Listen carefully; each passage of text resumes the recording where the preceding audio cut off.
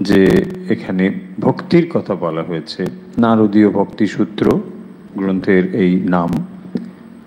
এখন এই গ্রন্থের রচয়িতা স্বয়ং দেবর্ষী নারদ। এর মধ্যে চুরাশিটি সূত্র রয়েছে। তো সেই সূত্রগুলো পরপর ভক্তির স্বরূপ কি করে তাকে লাভ করা যায় এবং যারা তাকে লাভ করেছেন, সেই বিষয়ে এখানে আলোচনা করা হয়েছে। আমরা সেগুলোই এর ভেতরে দেখেছি। তো এই শিরোনাম থেকে স্পষ্টতই বোঝা যাচ্ছে যে এখানে ভক্তির কথা রয়েছে। এবং যখনই সেটি বলা হলো, নারদীয় ভক্তি তখন আমাদের মনে হতে পারে তাহলে এটি কোনো ভক্তির শ্রেণীবিন্যাস। ঠিক তা নয়। নারদীয় ভক্তি সূত্র মানে দেবর্ষী নারদ যা রচিত, তাকেই বলা হয় নারদীয়। নারদ রচিত যে ভক্তিসূত্র সেটি হলো নারদীয় ভক্তিসূত্র তাই এটি ভক্তির কোনো শ্রেণীবিন্যাস নয়। তারপরে যে বিষয়টি, তাহলে এখানে আমরা কি দেখলাম? না ভক্তির কথা এখানে বলা হয়েছে। যেমন অনেকগুলো পথের কথা আমরা জানি, রাজযোগ, জ্ঞানযোগ, কর্মযোগ এবং ভক্তিযোগ। তো সেই জন্যে এইখানে আমরা এই গ্রন্থে কি পাবো? ভক্তির কথা রয়েছে। সেই জন্য এটিকে বলা হলো নারদীয় ভক্তি সূত্র। এখন সূত্র শব্দটির কি অর্থ? সূত্র শব্দের অর্থ হচ্ছে যে সংক্ষিপ্ত করে যা বলা হয় তাকে বলে সূত্র। আমরা অন্যত্র সূত্র শব্দটির প্রয়োগ দেখেছি। যখন আপনারা বিজ্ঞান পড়েছেন বা অন্য কিছু, সেখানেও দেখবেন একটি সূত্র কথা রয়েছে। সেই সূত্র মানে সেই জিনিসটিকে বোঝানোর জন্যে সহজ করে, ছোট্ট করে একটি প্রপার্টিজ লেখা থাকে, তাকে বলা হয় সূত্র। এখানেও ঠিক সেরকম করেই বলা হয়েছে। সূত্র এর বৈশিষ্ট্য হলো সংক্ষিপ্ত করে বলা। যখন বড় একটি জিনিস তাকে ছোট করে বলা হয়, তাকে বলা হয় সূত্র। তাই এখানেও আমরা দেখব যে সূত্র আকারে এগুলো লেখা রয়েছে। সূত্র সাহিত্য একসময় খুবই প্রচলিত ছিল। তখন এরকম করেই সব লেখা হতো। এরকম ব্রহ্মসূত্র রয়েছে, সান্ডিল্য সূত্র রয়েছে, এরকম অনেক সূত্র সাহিত্য রয়েছে। তো সেখানে কি হয়, এই বিষয়গুলোকে খুব ছোট করে লেখা হয়। বোঝাই যাচ্ছে যে এগুলো যখন আগে মানুষ পরম্পরাক্রমে শিখত, তখন এগুলোকে কি করতো? মুখস্থ করে নিত। এবং মুখস্থ করে নিতে পারলে অনেকটা জিনিস ওই ছোট্ট দু চারটি ওয়ার্ড শব্দের দ্বারা বা একটি বাক্যের দ্বারা তাকে মনে রাখা সম্ভব হতো। সেই কারণের জন্য এগুলোকে এরকম সূত্র আকারে লেখা হয়েছে। এটি তখনকার সময়ের একটি প্রচলিত ব্যাপার ছিল। এখনও যে নেই তা নয় এখনও এটি কোথাও কোথাও কোনো কোনোভাবে প্রয়োগ রয়েছে। তো যাই হোক, এই হলো আমাদের এই এই গ্রন্থটির নামকরণের ব্যাপার। এর ভেতরে কি রয়েছে? দেখুন যে কোনো শাস্ত্র যখন আমরা পড়তে যাই, তার ভেতরে কতগুলো বিষয় থাকে। এক হচ্ছে প্রথম অধিকারী বিষয় সম্বন্ধ। এই জিনিসগুলো আমাদের জেনে নিতে হয়। কেন জেনে নিতে হয়? না, এগুলোকেই বলা হয়েছে যে শাস্ত্র পাঠের যে নিয়ম বা ধারা সেগুলো হচ্ছে এই বিচার করে করে দেখতে হয়। যে যখন আমরা কোনো একটি বিষয় পড়তে যাচ্ছি, সেই বিষয়টি এর মধ্যে আমরা পাবো কি না ধরুন, যখন আমরা বললাম সাবজেক্ট তার মানে এখানে কি সাবজেক্ট আলোচিত হবে? তখন আপনার যদি আকাঙ্ক্ষা থাকে যে আমি এই বিষয়টি জানতে চাই, তখন এই বিষয়টি সে বলতে পারবে কি না যখন আপনি বুঝে যান, তখন দেখেন হ্যাঁ আমার এই বিষয় কিন্তু এখানে স্যাটিসফাইড ধরুন আপনি ইতিহাস সম্পর্কে জানতে চান, তো তখন তো নিশ্চয়ই ভক্তিশাস্ত্র খুলে বসবেন না। আপনি ইতিহাস জানতে চান। ঠিক সেরকম এখানে বলছেন যে যে কোনো শাস্ত্র গ্রন্থ পাঠ করতে গেলে আপনাকে এটি প্রথম দেখতে হয়, কি কি বিষয় এখানে রয়েছে। এখানে ভক্তির কথা বলা হয়েছে। তাই যখন আপনি ভক্তি জানার জন্য আগ্রহী হবেন, তখন নিশ্চয়ই এই গ্রন্থটি পাঠ করবেন। সেই জন্য এখানে বলেছেন, এই গ্রন্থের বিষয় হলো ভক্তি। ভক্তির বিভিন্ন দিক নিয়ে এখানে আলোচনা করা হয়েছে। এর পরের যে পয়েন্ট সেটা হলো অধিকারী। অধিকারী মানে কে কোয়ালিফাইড যেমন ধরুন, আপনি যদি আইন গ্রন্থ পড়তে চান, এখন আপনি নিশ্চয়ই সেটি পড়তে পারবেন।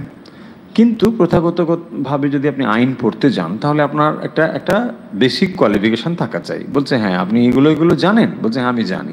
তাহলে আপনি আইন পড়ার জন্য কোয়ালিফাইড ঠিক সেরকম এখানেও ভক্তিশাস্ত্র বলবেন যে, অধিকারী, কে এটি পড়তে পারবে? যে কেউ পড়তে পারবে, নাকি বিশেষ কোনো যোগ্যতার প্রয়োজন হবে? সেই জন্য বলছেন এটা অধিকারী। মানে কে এটা পড়াশুনো করতে পারবে? সেই বিষয়গুলো এখানে দেখতে হয়। যেমন যদি আমরা বেদান্ত পড়তে চাই বেদান্তের শাস্ত্রে প্রথমেই বলে দেওয়া হয়েছে যে সেখানে অধিকারী হতে গেলে তার কতগুলো যোগ্যতার দরকার। সেই যোগ্যতা কি? না তাকে আগে উপবিদ ধারণ করতে হবে, সংস্কার হতে হবে, তারপরে তাকে গুরুর কাছে যেতে হবে হ্যাঁ তারপরে তার আগের যে সমস্ত পাঠ অর্থাৎ ব্যাকরণ আদি, সেগুলো তাকে শেষ করতে হবে প্রথাগতভাবে। তারপরে তিনি বেদ অধ্যয়নের জন্য কোয়ালিফাইড হবেন। সেগুলো তাকে বলা হয়েছে। তো সেই সব বিষয় বেদান্তের ভিতরে রয়েছে, আমরা পড়েছি। কিন্তু এখানে বলছেন যে এই ভক্তি শাস্ত্রেরও একজন অধিকারী দরকার। কে সেই অধিকারী এবং তার কি ধরনের কোয়ালিফিকেশন থাকবে? এখানে বলছেন যে তার ওই ধরনের কোনো যোগ্যতার এখানে প্রয়োজন নেই। অর্থাৎ তাকে যে ব্রাহ্মণ হতে হবে, তাকে উপবিদ ধারণ করতে হবে বা তাকে যে সংস্কৃত জ্ঞান সম্পন্ন হতে হবে, এরকম কোনো কথা এখানে বলা হচ্ছে না। তাহলে এখানে কোনো যোগ্যতার কি প্রয়োজন নেই? এখানে যোগ্যতার প্রয়োজন হচ্ছে যিনি একমাত্র ঈশ্বরকেই ভালোবাসতে চান। যিনি অন্তরে ভক্তি লাভ করতে চান, তিনি হচ্ছেন কোয়ালিফাইড সত্যি সত্যি যিনি তিনি অন্তরে যদি তার ভক্তি লাভের আকাঙ্ক্ষা থাকে, ইচ্ছে থাকে তখনই তিনি এর অধিকারী বলে বিবেচিত হবেন। তার বিশেষ কোনো গুণাবলীর প্রয়োজন নেই। এখানে সেটি স্পষ্ট করেই বলা হয়েছে। এমন নয় যে তাকে ব্রাহ্মণ হতে হবে তাকে পুরুষ হতে হবে। এরকম কোনো কিছু এখানে বলা হচ্ছে না। যে কেউ যে কেউ মানে যে কেউ। সমাজে যে স্তরের হতে পারে, শিক্ষা তার যেমনই থাকুক না কেন, তিনি অর্থবান হোক বা না হোক, কিচ্ছু এসে যায় না। সেই জন্য বলেছেন, যে কেউ এই ভক্তি পথ অবলম্বন করতে পারেন। সেই জন্য এখানে অধিকারী হচ্ছে, অধিকারী মানে শিক্ষা লাভের যোগ্যতা, এইটি তার আছে কিনা সেটি এখানে বলা হয়েছে। তারপরে বলা হয়েছে, প্রয়োজন সম্বন্ধ, প্রয়োজনা। প্রয়োজন মানে এই ভক্তি শাস্ত্র যে আমরা পড়তে যাচ্ছি, এর কি প্রয়োজন রয়েছে? একটা জিনিস যখন আমরা পড়ব, তার তো একটা নিশ্চয়ই প্রয়োজন থাকবে। কি প্রয়োজন? এখানে প্রয়োজন হচ্ছে, এই শাস্ত্রটি পাঠ করলে আমরা বুঝতে পারব ভক্তি কাকে বলে এবং কীভাবে সেই ভক্তি আমরা লাভ করতে পারি। তার স্তরবিন্যাস কি? কোনগুলোকে আমরা পরাভক্তি বলি? কোনটিকে আমরা বৈধি ভক্তি বলি? কীভাবে তাকে লাভ করা যায়? তার বিভিন্ন যে পথ এবং কি কি বাধা অতিক্রম করতে হবে সেগুলোও আমরা এখানে খুব সুন্দরভাবে পুঙ্খানুপুঙ্খভাবে বলা হয়েছে। তাই এই যে উপযোগিতা বা প্রয়োজন, সেই প্রয়োজনটুকু আমরা বুঝতে পারলাম যে এই যে আমরা ভক্তি লাভ করতে চাই, সেই প্রয়োজন কিন্তু বিষয়ে এই এই গ্রন্থটি সে কথা বলে। অতএব স্পষ্টতই আমাদের প্রয়োজন সিদ্ধ হবে। তারপরে বলছেন সম্বন্ধ। সম্বন্ধ মানে আমরা যে ভক্তির উদ্দেশ্যে এই গ্রন্থটি পাঠ করছি, সেইটি কি আমাদের ঠিক ঠিক যা আমরা মনে মনে ভেবেছি এবং এই গ্রন্থ যে কথা বলে, তার মধ্যে কি কোনো রিলেশন আছে? বলছে হ্যাঁ সেই রিলেশন আছে। যেমন আমরা একটু আগে বললাম যে, যদি আমি ভক্তি জানতে চাই, তাহলে নিশ্চয়ই ইতিহাস খুলব না, অথবা বাইসি বার্সা যদি আমি ইতিহাস জানতে চাই ভক্তিশাস্ত্র খুলব না। যদি ইতিহাস খুলি, তাহলে কেন হবে না? তার মধ্যে কোনো সম্বন্ধ নেই। অর্থাৎ যা আমি জানতে চাই বলছে, এখানে সেটা হবে না। পলাশির যুদ্ধ, বলছে, না, তাহলে নারদীয় ভক্তিসূত্র খুললে হবে না। আপনি ইতিহাসের বই খুলুন। হয়েছে? এইটি মোটামুটি টেকনিক্যালি এই জিনিসগুলো বলা হয়, সেজন্য আমরা একটু জেনে নিলাম। কি সেটি? এই জিনিসগুলো হচ্ছে এক বিষয় অধিকারী প্রয়োজন সম্বন্ধ। আমরা একটু অন্য বিষয়, বেদান্তে বিষয়ে বলেছি।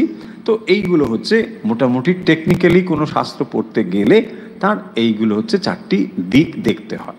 তাহলে আমরা এর থেকে শিখে নিলাম এখানে ভক্তির কথা বলা হচ্ছে এবং এইটি আমাদের যে ইচ্ছে তা পূরণ করবে এবং কে অধিকারী?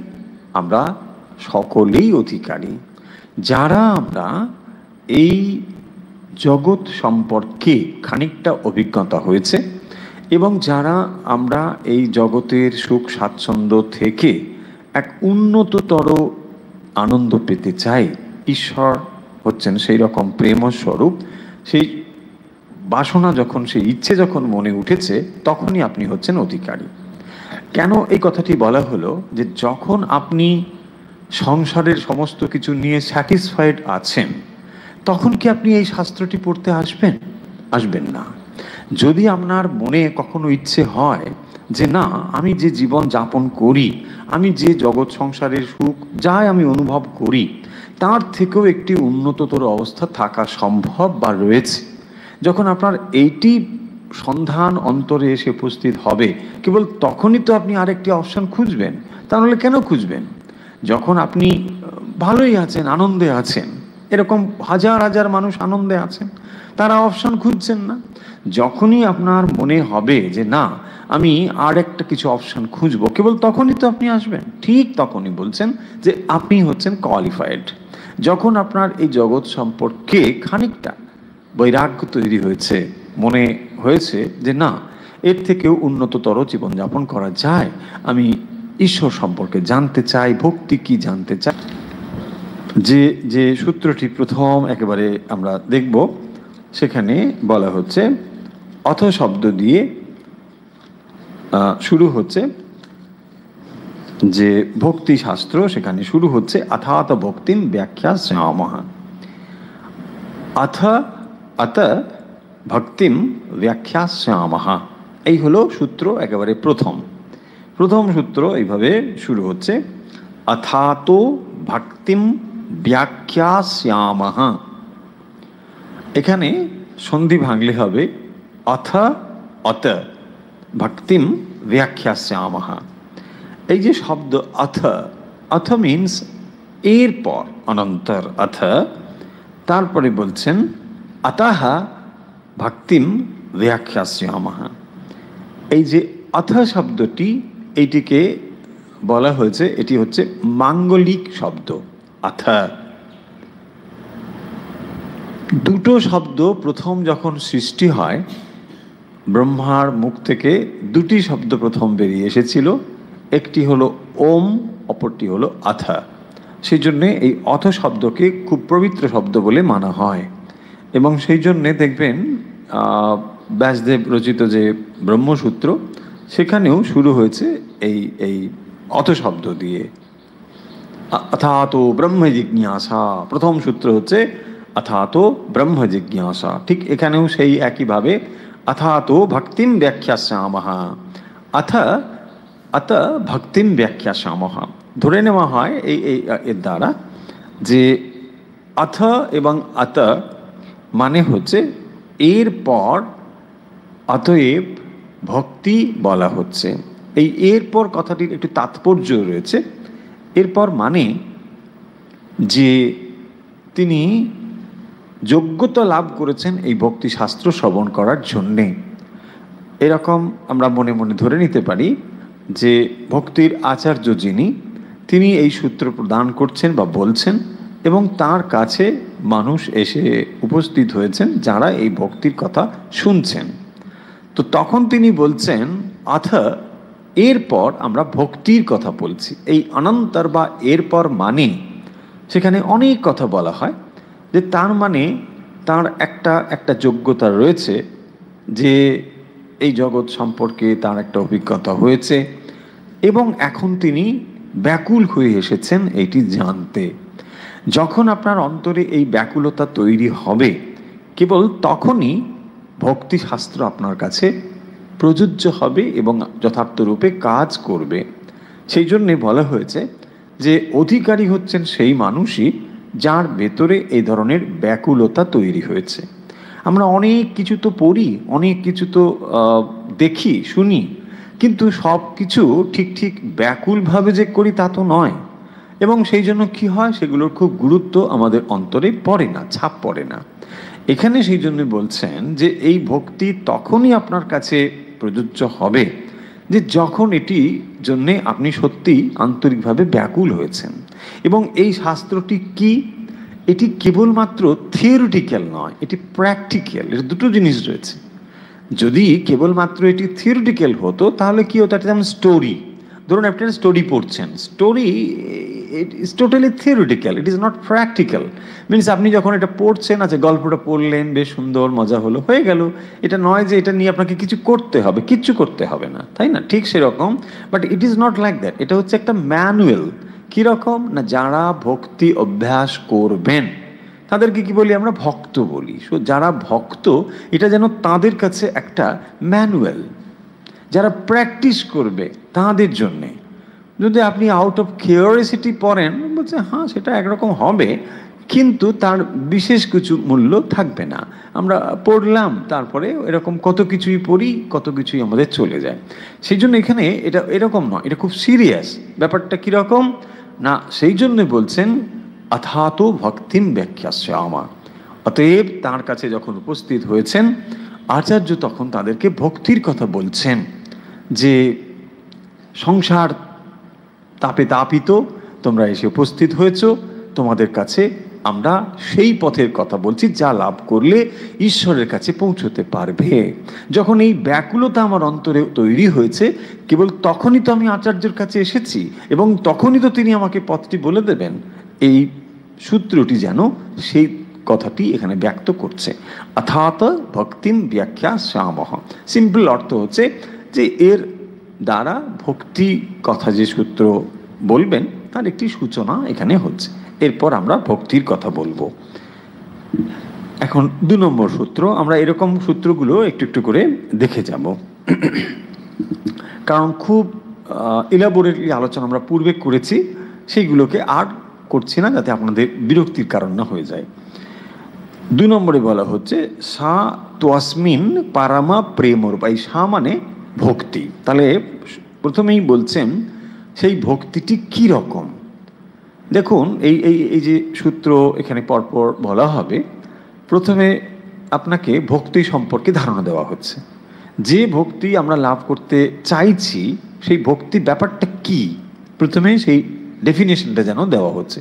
যে যা তুমি লাভ করতে চাও, যা তুমি লাভ করার জন্য আকাঙ্ক্ষা তোমার অন্তরে হয়েছে, সেটি কি আগে দেখো? সেটি বলছেন, সা মানে হলো ভক্তি। ভক্তি স্ত্রীলিঙ্গ শব্দ, সেই জন্য এখানে সা বলা হয়েছে। সা তু আসমিন পারামা প্রেম রূপা। দেখুন, সা তু আসমিন তু আসমিন। তু, সা তু তু মানে কিন্তু সেই ভক্তি হলো কীরকম? না, আসমিন। আসমিন মানে এর প্রতি আসমিন। হুম, এর প্রতি পারামা প্রেমা রূপা। তো এই ভক্তি হলো ঈশ্বরের প্রতি পরম প্রেম স্বরূপ। এই ভক্তি তাহলে কীরকম? ভক্তি হলো ঈশ্বরের প্রতি যে পরম প্রেম বা পরম ভালোবাসা, তাকেই বলা হয়েছে ভক্তি। এখন প্রেম কথা আমরা জাগতিক বিষয়ে বুঝি, যে যে কোনো কিছুর প্রতি যে আকর্ষণ তাকে বলা হয় প্রেম। যেমন শ্রীরামকৃষ্ণ বলছেন, জাগতিক প্রেমগুলোকে তিনটি জিনিসে তিনি ডিফাইন করেছেন। এক বলেছেন, বিষয়ীর বিষয়ের প্রতি যে টান বা আকর্ষণ এটাকে বলেছেন বিষয়ী কি করে? তার বিষয়কে সে ভালোবাসে। যার অর্থ রয়েছে সে অর্থকে ভালোবাসে, যার সম্পদ রয়েছে সে সম্পদ। এই হচ্ছে বিষয়ীর বিষয়ের প্রতি যে টান। এটা একরকম জাগতিক টান।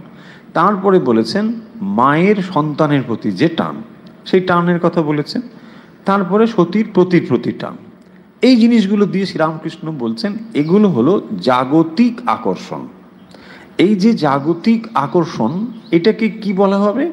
না, এইটাকে ভক্তির থেকে পৃথক করা হচ্ছে। এটাকে আমরা ভক্তি বলছি না। কিন্তু এখানে একটা আকর্ষণ রয়েছে। কিন্তু এই আকর্ষণ হচ্ছে জড় জগতের আকর্ষণ। সেই জন্য বলছেন, এই আকর্ষণটি হলো জাগতিক আকর্ষণ। কিন্তু ঈশ্বরীয় যে আকর্ষণ বা ঈশ্বরীয় যে প্রেম বা ঈশ্বরীয় যে ভালোবাসা, এটি কিন্তু এ সব কিছুর থেকে পৃথক। সেইটি এখানে বলছেন, সাতু অস্মিন পারম প্রেম রূপা তাই এটি হলো পরম প্রেমা। এটি হলো পরম ভালোবাসা। কার প্রতি? ঈশ্বরের প্রতি। আচ্ছা ঈশ্বরের প্রতি এটাকে পরম ভালোবাসা কেন বলা হলো? দেখুন, জাগতিক যে ভালোবাসা আর ঈশ্বরীয় যে ভালোবাসা, এর ভিতরে খানিকটা তফাত রয়েছে। কি তফাত রয়েছে? দেখুন, আপনি বলবেন যে কেন মা তো তার সন্তানকে ভালোবাসে হ্যাঁ ডেফিনেটলি বাসে। বা বিষয় যে বিষয়কে সতী প্রতীকে, যে ভালোবাসাগুলো জাগতিক চলে, বলছেন এগুলোর সঙ্গে ঈশ্বরীয় ভালোবাসার তফাত হলো এখানে। প্রথমে, এখানে অধিকারী বোধ নেই। অধিকারী বোধ মানে যে এটা আমার পজিটিভনেস এই পজিটিভনেসটা কিন্তু এখানে নেই। জাগতিক ভালোবাসাতে দেখবেন পজিটিভনেস রয়েছে। কীরকম পজিটিভনেস মানে এটা আমার। যখনই এই সন্তানকে আমি ভালোবাসছি, সেই সন্তান যখন আমার সন্তান তখন ভালোবাসি। এই হলো পজিটিভনেস তারপরে কি রয়েছে? আমি আমার। আমি আমার না হলে হবে না। তাহলে এই ভালোবাসারগুলো অধিষ্ঠান কোথায়? আমি। যখন আমি কোনো জিনিস বা কোনো ব্যক্তি অথবা বস্তুকে ভালোবাসি, তার কারণ কিন্তু ভালোবাসা নয়। তার কারণ হচ্ছে আমি ভালোবেসে সুখী হতে চাই। দিস দ্য পয়েন্ট আমার ভালো লাগে বলেই আমি করি। তার মানে এখানে স্বার্থপরতা রয়েছে। এখানে সেন্টার হলাম আমি।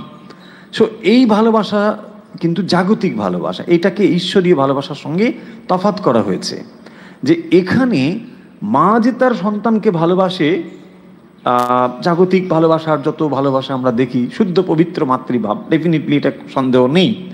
কিন্তু সেখানে বলা হয়েছে যে মা যে সন্তানকে ভালোবাসছেন তিনি সন্তানকে ভালোবাসেন, নিজে আনন্দিত হবেন বলে।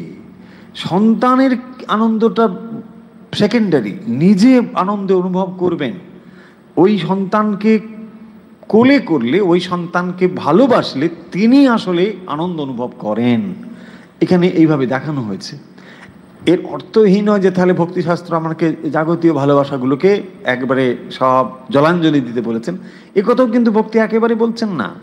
বরং কথা বলছেন যে এই ভালোবাসাগুলো ডেফিনেটলি তুমি ভালোবাসো।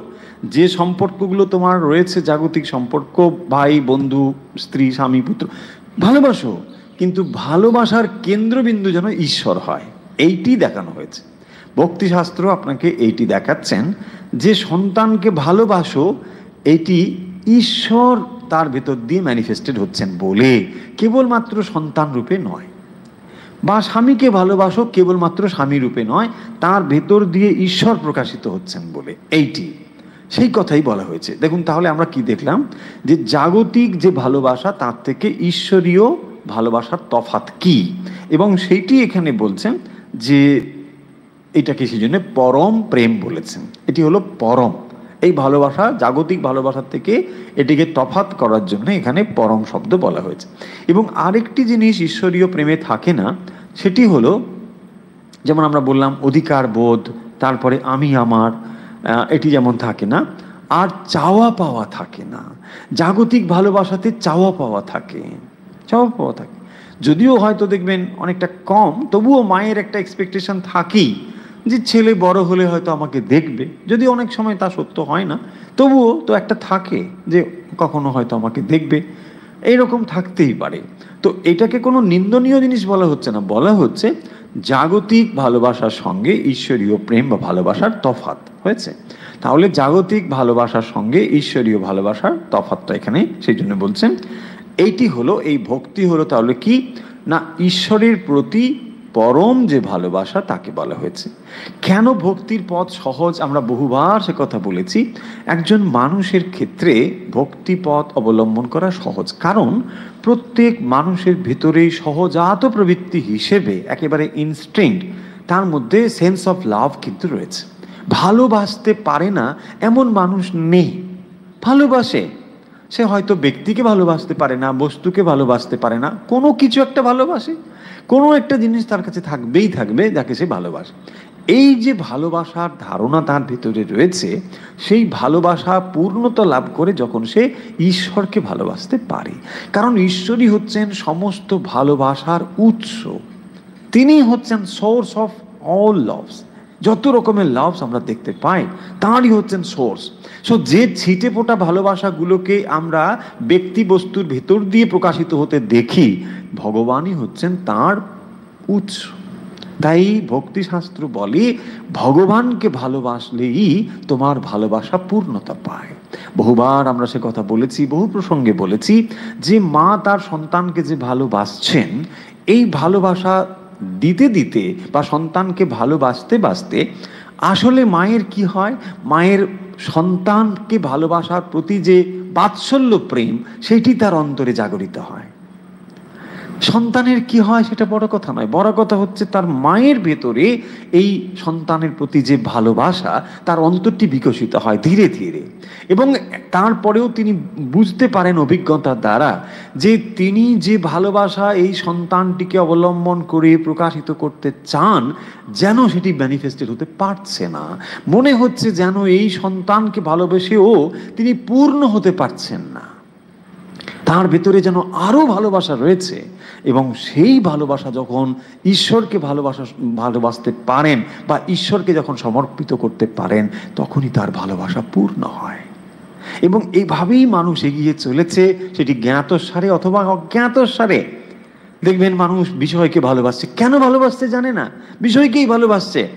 লক্ষ লক্ষ টাকা, কোটি কোটি টাকা, কোটি কোটি সম্পদ সে করছে। সে সম্পদের জন্য সম্পদ নয়। না করে থাকতে পারে না, করেই যাচ্ছে। কিন্তু একদিন সে বুঝে যায়, কোনো না কোনোভাবে দেখবেন এই জগৎ তাকে শিখিয়ে দেবে। ঘাত প্রতিঘাতের ভেতর দিয়ে তো চলে। তখন সে বুঝবে আচ্ছা আমি সারা জীবন ধরে যে এগুলো করলাম, কি হলো? কিন্তু তখন তার কি হয়েছে? তার ভেতরে একটি প্রস্তুতি হয়ে গেছে যে আকর্ষণ, কি করে যে সেইগুলোকে ভালোবাসতে হয়, সেই জিনিসটি তার অন্তরে হয়েছে। একটু যদি বোর ফিরিয়ে দেওয়া হয়, দেখবেন বিরাট একটা পরিবর্তন তার ভেতরে হয়ে যাবে। এগুলো বলা যায় না। যেমন আমরা দেখি জাগতিকভাবে একজন মানুষ দস্যু।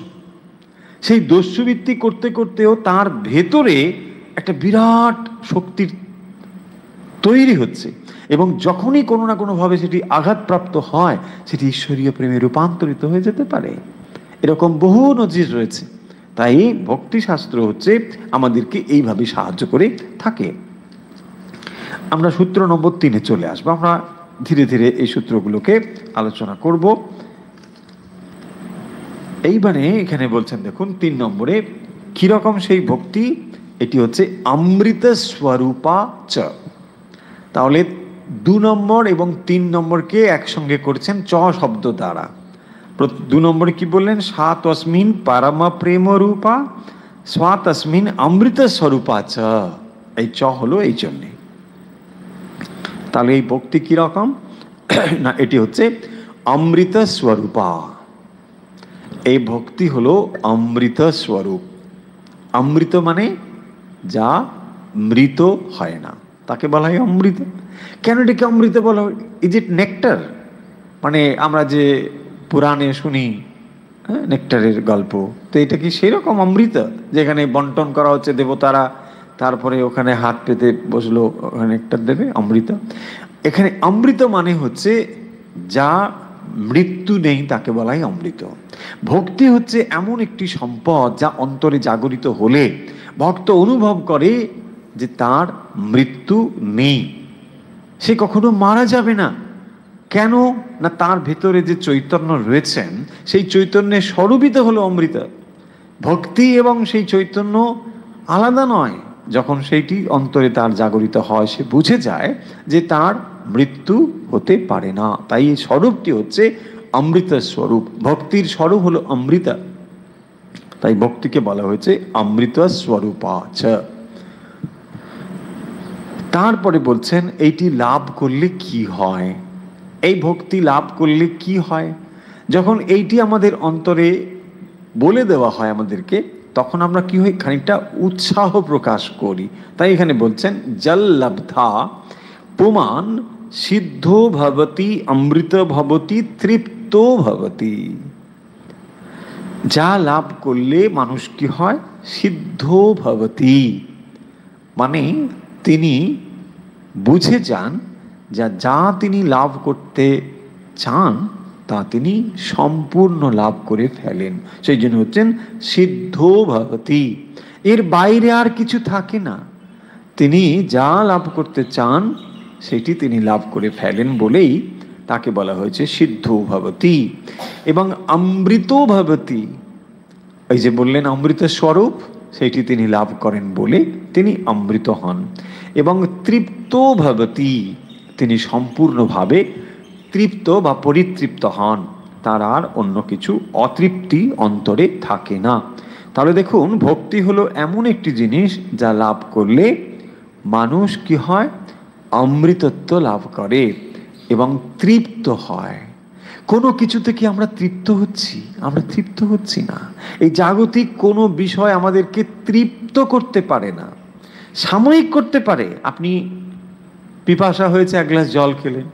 আপনি, বাহ, ভালো লাগল। কিন্তু আবার ওই পিপাসা আপনার ভেতরে জাগরিত হবে। তাই আপনি তৃপ্ত নন। আপনি সম্পদ ব্যবহার করেও তৃপ্ত নন। আপনি নাম, যশ, খ্যাতি খ্যাতি পেয়েও তৃপ্ত নন। কোনো কিছুতেই আমরা তৃপ্ত হতে পারি না। কারণ কি? এগুলোর ভেতরে তৃপ্তি দানের কোনো কোনো সম্পদই নেই। কারণ যদি আপনার কাছে নাম যশ থাকে, সবসময় ভয় আছে। নাম যশ যদি খ্যাতি চলে যায়, তবে সেটাকে ধরে রাখতে হবে, তাই না? না হলে অখ্যাতি হবে। সবসময় ধরে রাখার ভয় আছে। এটাও একটা ভয়, মানুষকে তাড়িত করে। যদি রূপ থাকে রূপের ভয়, এই বোধে আমার সৌন্দর্য চলে গেল, তাই না? স্বাস্থ্য যদি থাকে, আপনার রোগের ভয়। বলছে, না, কখন আবার রোগ এসে যাবে? দেখুন, এই ভয়ে মধ্যেই মানুষ চলে। সেই জন্য বলছেন, ভক্তি লাভ হলে তৃপ্ত ভবতী, তখন তিনি সম্পূর্ণ তৃপ্ত হন। ইয়াত প্রাপ্য না কিঞ্চিত বাঞ্ছতি, না শোচতি, না ধ্বেষ্টি না রমতে নোৎসাহী ভবতী। ইয়াত প্রাপ্য যেটি পেলে, ন কিঞ্চিত বাঞ্ছতি। কিঞ্চিত শব্দটি এখানে একেবারে সচেতনভাবে লেখা হয়েছে, কিঞ্চিত বাঞ্ছতি। তিনি আর কোনো বাঞ্ছা বা আকাঙ্ক্ষা করেন না, কোনো কিছুই করেন না। বলছি গরিব বাপরি, কি ব্যাপার? হ্যাঁ ভক্তি হচ্ছে এমন একটি জিনিস যা লাভ করলে ঈশ্বরের প্রতি যখন কেউ ভক্তি অন্তরে লাভ করে, সে আর কোনো কিছুই আশা করে না। সেই জন্য বলছেন ন কিঞ্চিত বাঞ্ছতি। তাহলে আপনি ধরে নিন বা অনুমান করুন ভক্তি কেমন জিনিস। ভক্তি লাভ করলে তার অন্তরে আর অন্য কোনো কিছু লাভের আকাঙ্ক্ষা থাকে না। সেটি হচ্ছে, অর্থাৎ যখন সে সম্পূর্ণভাবে পূর্ণ হয়ে যায়, ধরে নিন এক বিন্দু জল, যখন সে গিয়ে সমুদ্রে পড়ে, তখন কি আর কোনো কিছু তার চাওয়া থাকে? একটা বিন্দু জল সে সমুদ্রে গিয়ে মিশেছে, তার কল্পনারও বাইরে।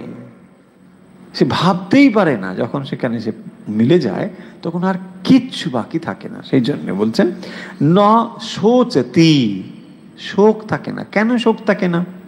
কারণ ভক্তি এবং ঈশ্বর এর স্বরূপিত হলো আনন্দ। ঈশ্বরের স্বরূপ যেহেতু আনন্দ, তাই তার ভেতরে আর কোনো শোক থাকে না।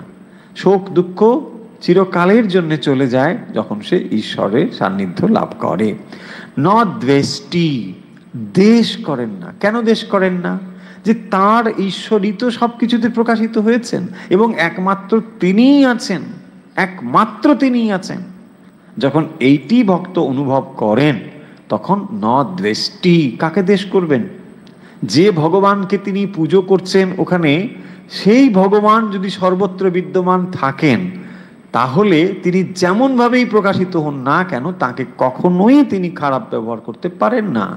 শুধু খারাপ ব্যবহার নয় ন দ্বেষ্টি, কোনোভাবেই তার প্রতি বিদ্বেষ, ভাব পোষণ করতে পারেন না। এটি বলা হয়েছে। বলে ন দ্বেষ্টি। না রমতে নোৎসাহী ভবতী। না রমতে মানে জাগতিক বিষয়ে তিনি আর কোনো আনন্দ অনুভব করেন না। রম ধাতু মানে আনন্দ। না রমতে।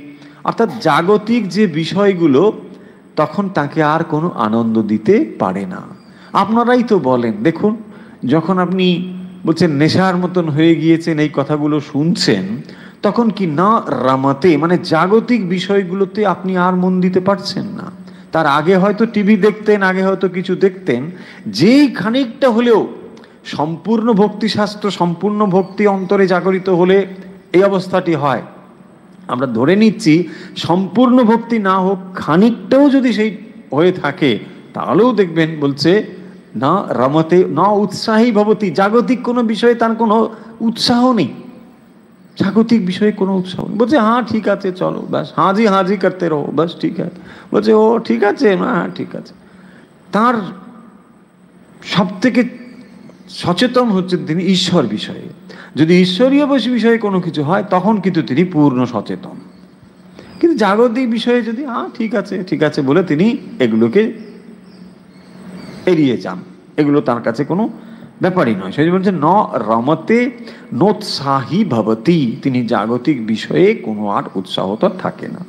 যজ জ্ঞাত্বা মত্তো ভবতী, স্তব্ধ ভবতী আত্মা রাম ভবতী ছ নম্বর সূত্র দেখুন।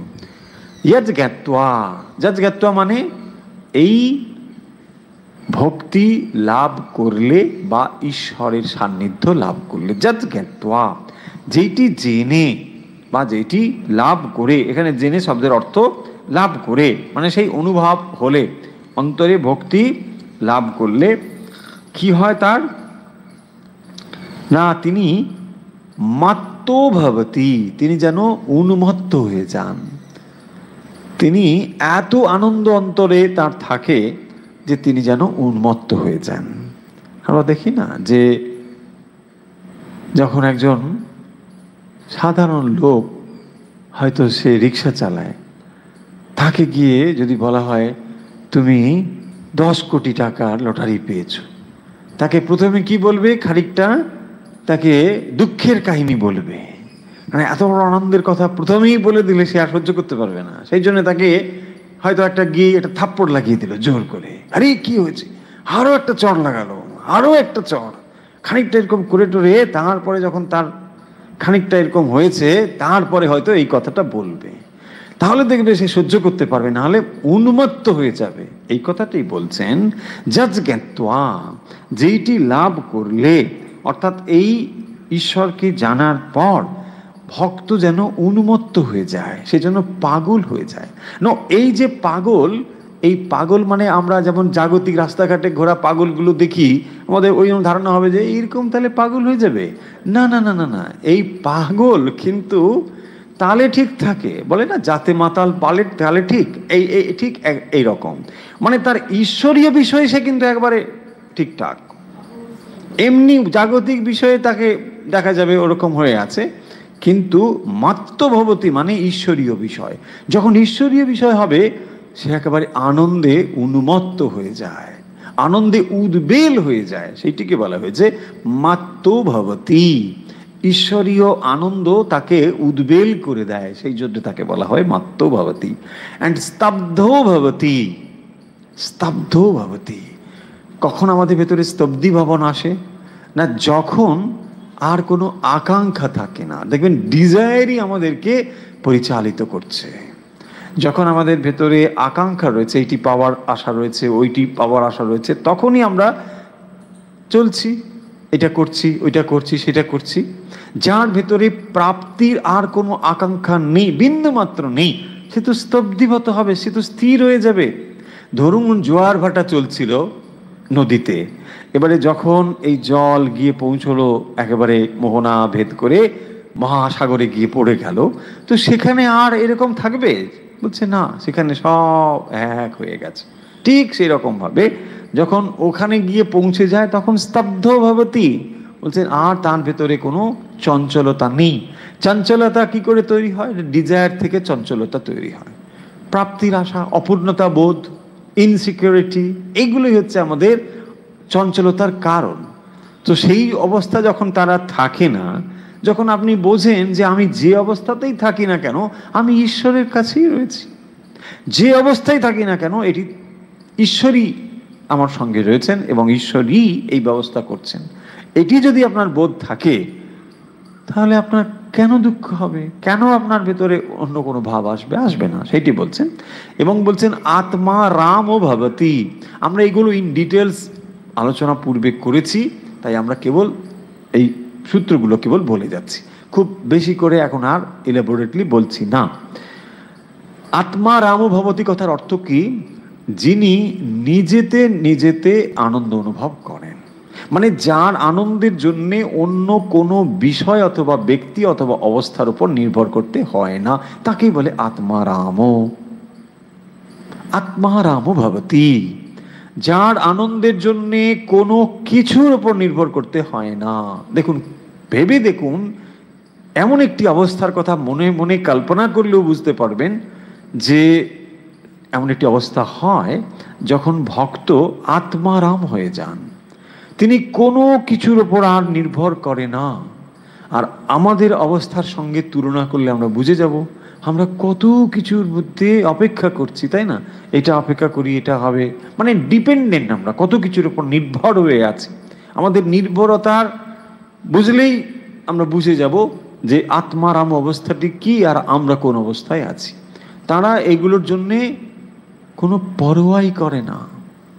শ্রীরামকৃষ্ণ দক্ষিণেশ্বরে মথুরবাবুর ছেলে তাকে বলল যে সব চলে যেতে হবে। মানে বলেছেন হৃদয়রামকে তো ঠাকুর সেখানে যখন শুনলেন কথাটি, তিনি একটা ঘাড়ে গামছা নিয়ে বলছেন, ঠিক আছে, যেতে হবে যখন, চলো, আমিও বেরি তারপর দাঁড়িয়ে আপনাকে বলা হয়নি, আপনি কোথায় যাচ্ছেন? ও, আমাকে বলা হয়নি? না, তাহলে আসুন ঠিক ঠিক কোনো কিছুতেই ভ্রুক্ষেপ নেই। আত্মারাম তার কোনো কিছুতেই নেই। আরে, যাবে কোথায়, থাকবে কোথায়? এই দক্ষিণেশ্বর মন্দির থেকে তিনি যদি চলে যান তাকে থাকবেন কোথায়? এটা তার ভাবনা হলো না। তিনি জানেন যে সব অবস্থাতেই আমার ঈশ্বর সঙ্গে আছেন। বাস, মা আমার হাত ধরে আছেন।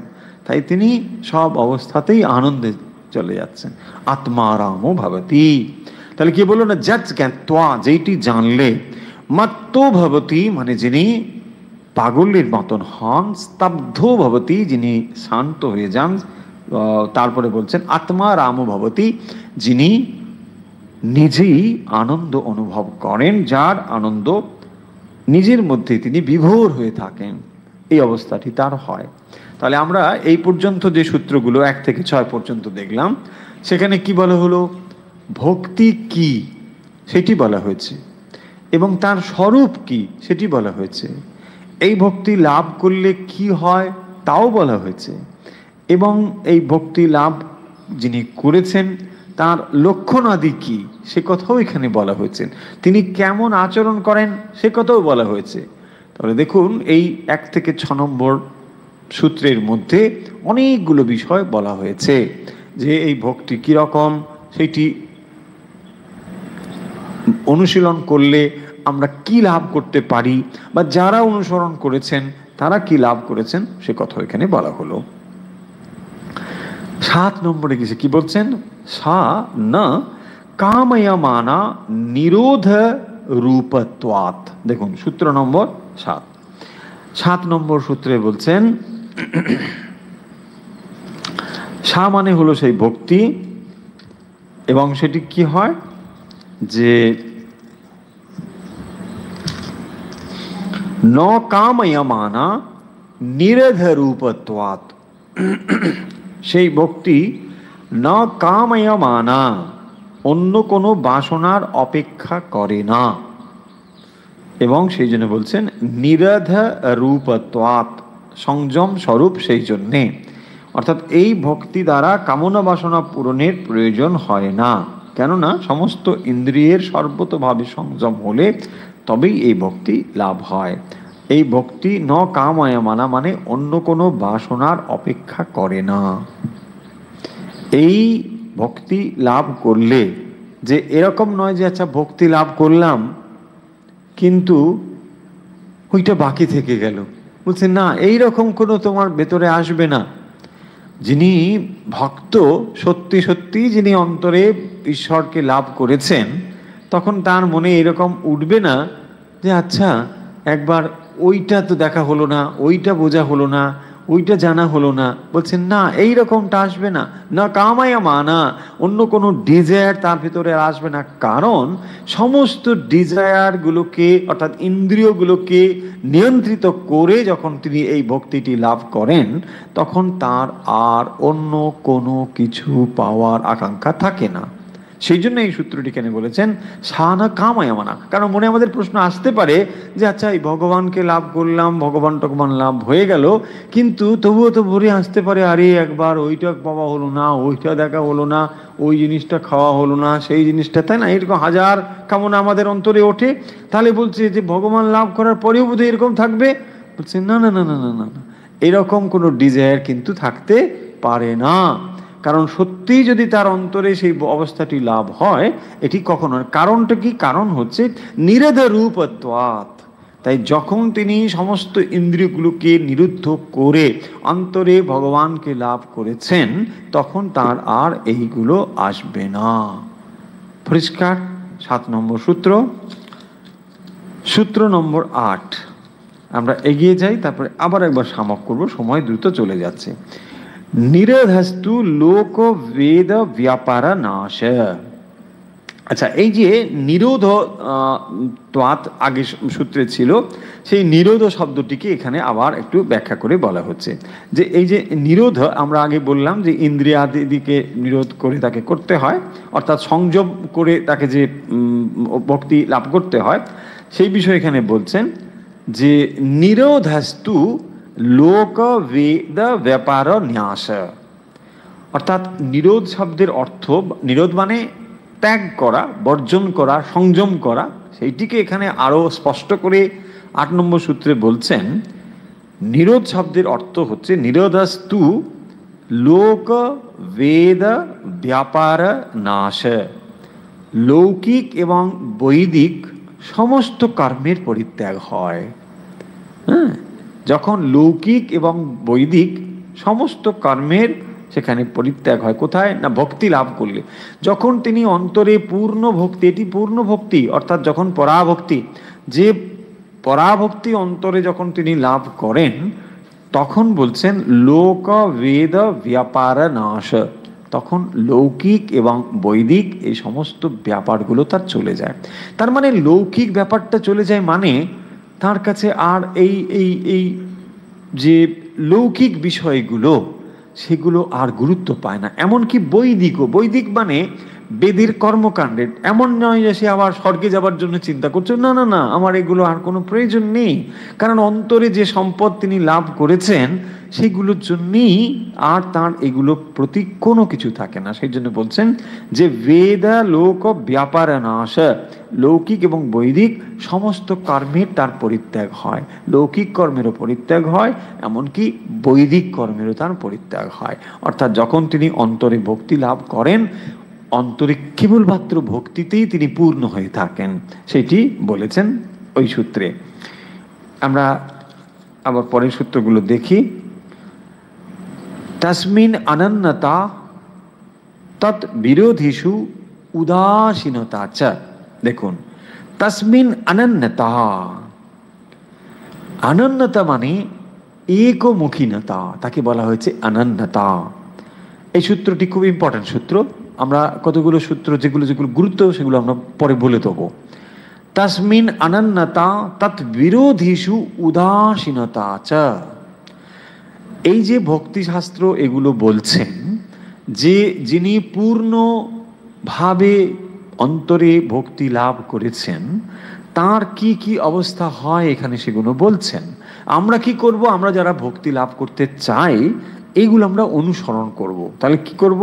না তসমিন অনন্যতা তৎ বিরোধীষু উদাসীনতা চা। বলছেন তসমিন মানে এই ভক্তিতে, এই ভক্তি অন্তরে লাভ করলে কি হয়? অনন্যতা অনন্যতা মানে একমুখীনতা, অর্থাৎ এই ঈশ্বরকেই আমি চাই, একমাত্র তাকেই আমি চাই। তাত বিরোধীষু, অর্থাৎ ঈশ্বরের থেকে যেগুলো বিরোধী সেই বিষয়ে উদাসীনতা আছে। তিনি ঈশ্বরকেই একমাত্র চান, তৎ বিরোধীষু, অর্থাৎ যে যে বিষয়গুলো ঈশ্বর থেকে আমাকে দূরে নিয়ে যায়, সে বিষয়ে তিনি সম্পূর্ণ উদাসীন। এখন আমরা বুঝে নিতে পারব যে আমরা যে মনে করি আমরা ভক্ত, যদি জগৎটি ভালোবাসি, আবার ঈশ্বরকেও ভালোবাসি, এটা কিন্তু যথার্থ রূপে হলো না। একমুখীনতা হলো না। কাউকে ছোট বড় করা হচ্ছে বা উচ্চ নিচ করা হচ্ছে, এমনটা পাবেন না।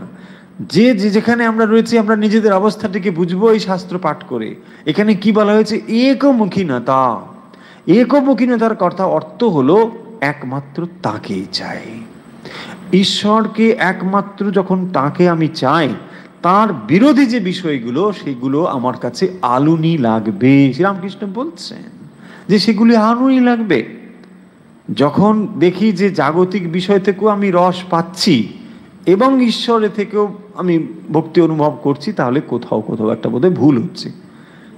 যখন এই ব্রহ্মানন্দ এবং বিষয়ানন্দের ভেতরে কোনো তুলনাই চলে না, সেই জন্য এখানে পরম শব্দ বলেছেন, কারণ ঈশ্বরীয় প্রেমের কোনো ধারণা আমাদের নেই।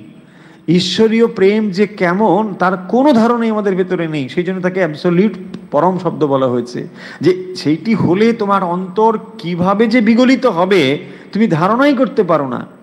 ঈশ্বরীয় প্রেম আমরা এখন অনুমান করি কেবলমাত্র। আমরা দেখি, ও আচ্ছা মায়ের ভালোবাসা, জগতের এই জাগতিক বিষয়ে ভালোবাসা, সেগুলো থেকে খানিকটা অনুমান করি, তাহলে ঈশ্বরের ভালোবাসা বোধহয় এইরকম হতে পারে। একেবারেই তা নয়। আমাদের সমস্ত অনুমানেরও পারে সেটি। এবং সেই জন্য বলছেন পরম প্রেম। এবং যখন সেইটি তার অন্তরে উপস্থিত হয়, জাগতিক কোনো কিছু তার কাছে সমস্তই তুচ্ছ হয়ে যায়। শ্রীরামকৃষ্ণ বলছেন না? বলছেন, আরে, এসব কি? রম্ভা থিলোত্থমা বলছেন, এগুলো ছায়ের গাদা, কথা মিত্র রয়েছে? বলছেন, এগুলো কিছুই কিছুই নয়। ঈশ্বরীয় রূপের কাছে। বলছে, ঈশ্বরীয় যে রূপ, সে যে কি আনন্দের? বলছেন, এগুলো তার কাছে তুচ্ছ হয়ে যায়। যে এগুলোর অনুভব করতে পারেনি সেগুলোকে এরকম করে ভাবেন। ভক্তিশাস্ত্র আমাদের সে কথা বলছেন যিনি এগুলোকে অনুভব করেছেন।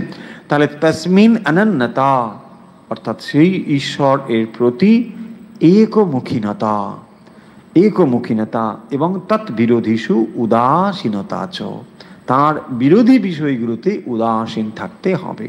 এই আনন্দতাই হচ্ছে এই সূত্রের মূল মূল শব্দ বা মূল বিষয় আনন্যতা অর্থাৎ যে কোনো বিষয়ে যদি আনন্যতা না আসে, আমরা কখনোই কোনো কিছু লাভ করতে পারব না। জাগতিক বিষয়ে না, এবং ভক্তি তো নাই।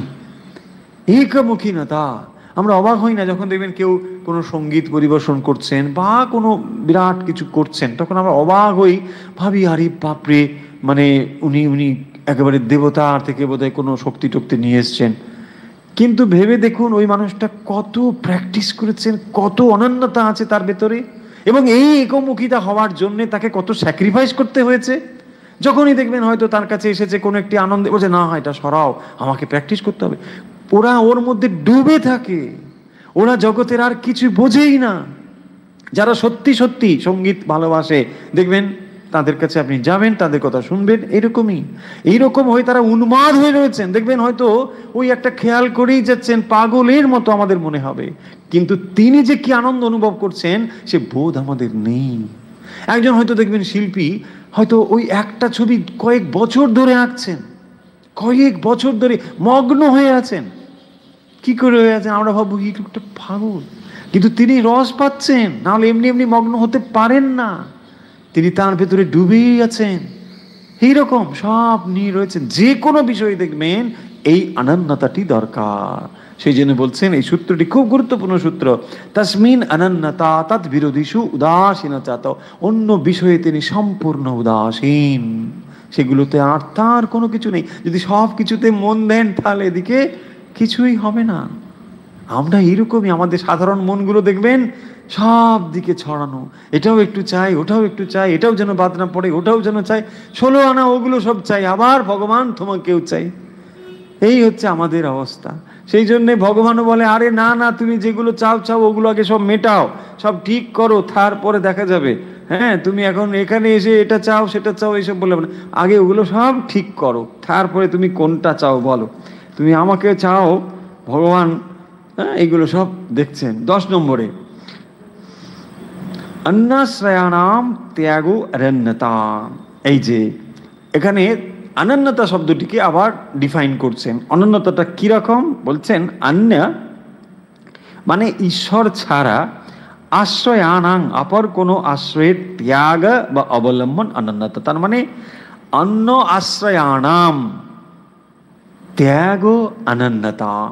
ঈশ্বর ভিন্ন অন্য কোনো কিছুর আশ্রয় বা অবলম্বন ত্যাগই হচ্ছে অনন্যতা। ঈশ্বর ছাড়া অন্য কোনো কিছুর আশ্রয় ত্যাগ করা। যখন আপনি অন্য কিছু অবলম্বন গ্রহণ করেছেন, তাহলে কি আপনি ঈশ্বরের উপর নির্ভর করেন? আমরা মুখে বলি, প্রভু, তুমি আমার সব। প্রভু, যদি তোমার সব হয়, তাহলে বাকি সবগুলো কি? তাই না? প্রশ্ন এসে যাবে, এই হচ্ছে আমাদের অবস্থা, পাটুয়ারি বুদ্ধি। আমাদের এই পাটুয়ারি বুদ্ধি মনে মনে বিচার করছি, না আমার কি হবে? তাই না? এই যখন হবে, তাহলে এই হবে এই হবে, ওই হবে। না, এখানে ইন্স্যুরেন্সটা করে রাখি, ওখানে ওটা করে রাখি। দেখবেন আচ্ছা মুখে মুখে বলছি, ভগবান, তুমি আমার প্রভু, তুমি তাহলে ইন্স্যুরেন্সটা কেন আছে? দেখুন, কথার কথা, তাই না? একটা এক্সাম জাস্ট এক্সাম্পল না, এমন বলছি না যে ইন্স্যুরেন্স করতে বারণ করছি। না না এটা না। পয়েন্টটা বুঝব পয়েন্টটা হচ্ছে যে যদি আমি অন্য আশ্রয়টাকেই ধরে রাখি তাহলে আমি কি তার উপর নির্ভর হতে পেরেছি? এইটাই হচ্ছে কথা। যখন আমি তার কাছে ঈশ্বরের উপর নির্ভর হচ্ছি, আমি তোমার ওপরেই নির্ভর, তখন আমার আর তো কিছু নেই। আমি দুহাত তুলেই তো দিয়েছি, তাই না? এইটি হচ্ছে স্যারেন্ডারে ওই সেই গল্প আছে না? যে কথামৃতে হ্যাঁ এক এক এক এক বেয়ান গিয়েছে আর এক বেয়ানের বাড়িতে। তো বেয়ানের ব্যবসা হচ্ছে সুতোর ব্যবসা। তো যখন দেখেছে বেশ ভালো মানে সুতো টুতোগুলো সেখানে রয়েছে বেয়ান করল কি যে বেশ ভালো সুতো একবার নিয়ে চলে যাই বলে ওই বেয়ানের অলক্ষে একটা একটা সুতো বান্ডেল উনি উনি ভিতরে ওই বগলের মধ্যে রেখে দিয়েছেন। এই এমন সময় আর এক বেয়ান এসে হাজির। বলছে, কি বেয়ান ও কিন্তু বুঝতে পেরেছে ওই সুতোটা ও বগলের মধ্যে নিয়েছে। এখন চালাকি করে, যখন হয়েছে, একটু বুদ্ধি করে করল কি বলছে, বেয়ান, তুমি অনেক দিন পরে এসেছ। তোমাকে দেখে বড় আনন্দ হয়েছে। তো কি করা যাবে? না, এসো একটু কোলাকুলি করি। তো কোলাকুলি করবে? দাঁড়া একটু আনন্দে একটু নাচি। তো তখন উনি নাচা শুরু করেছেন। একে বলছে, আরে বেয়ান, তুমিও নাচো, আমিও নাচি। দেখে মানে দুজনে অনেক দিন পরে হয়েছে। তো উনি নাচা শুরু করেছেন, কি করছেন না, একটা হাত বগলটা চেপে একটা হাত তুলে তুলে একটু একটু করে নাচছেন। ও তাকে বলছে, আরে বেয়ান, তুমি এরকম করে নাচো কেন? এক হাত বগলের দিয়ে কি নাচা যায়? দু হাত তুলে নাচো।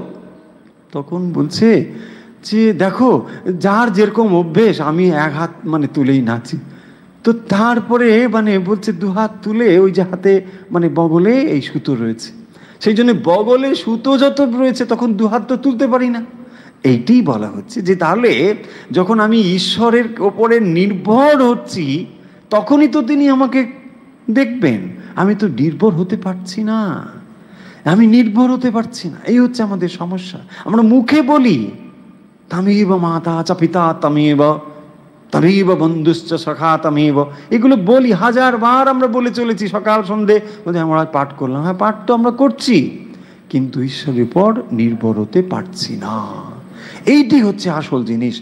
দেখুন, যখন আমরা এক্সাম্পল হিসেবে বলি যে মা বা পিতা দেখবেন একটি ছোট্ট শিশুকে নিয়ে ওপরে ছুটছে আনন্দে ছুটছে, ও কিন্তু খিলখিল করে হাসছে।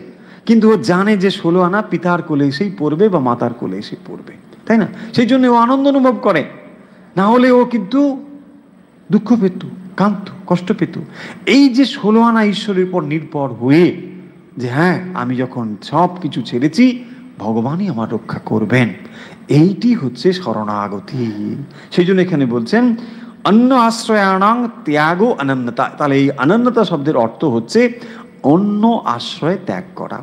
আজকে তাহলে আমরা কি দেখলাম? আজকে আমরা এক থেকে দশ নম্বর পর্যন্ত যে সূত্রটা দেখলাম, এর ভেতরে রয়েছে যে ভক্তি কি? ভক্তির স্বরূপ কি?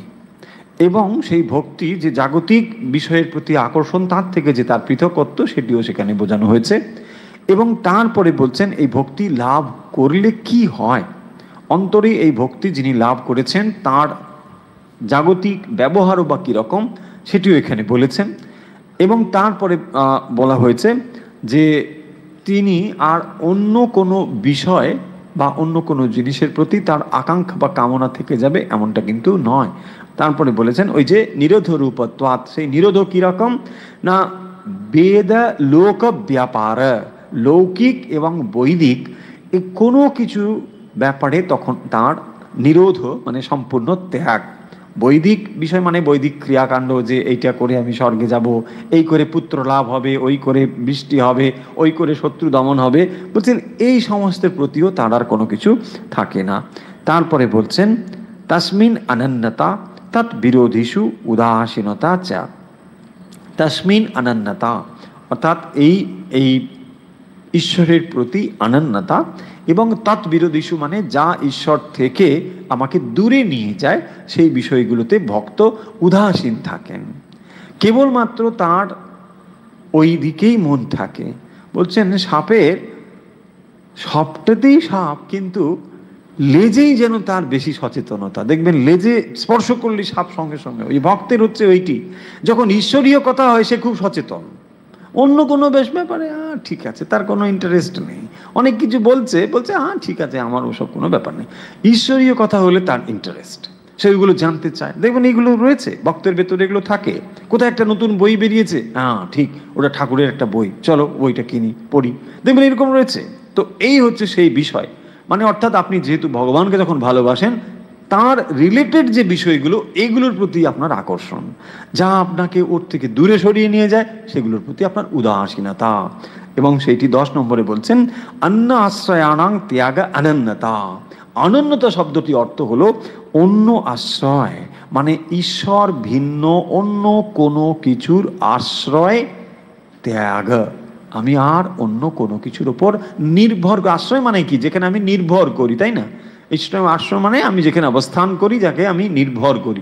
যখনই আমাদের নির্ভরতাগুলো আর নেই, তখন এটি মানসিকভাবে এটিকে প্রস্তুত হওয়া। কেননা মনে হতে পারে যে না, আমরা তো সংসারে রয়েছে, আমাদের অনেক রকম দায়, দায়িত্ব নিয়ে আমরা থাকি।